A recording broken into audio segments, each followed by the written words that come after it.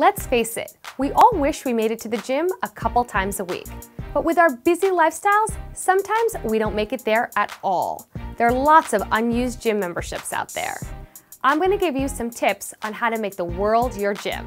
Here's how you do it. Let's start with the morning. Instead of taking the subway, the train, or driving to work, try walking a little bit, part of your route, or even biking it.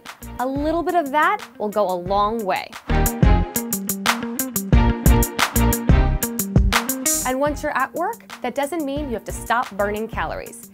Keep some dumbbells at your desk. You can pull them out and use them during conference calls, or even use them to take a break from your computer work.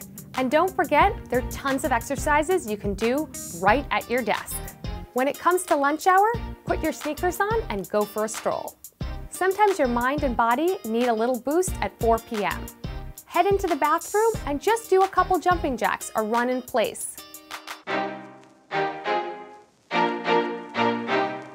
When it comes to communicating with colleagues, get off your butt. Instead of typing an email that may get misinterpreted or misunderstood, you can actually walk over to their desk and explain exactly what you're talking about. There's a little boost of exercise in the middle of the day.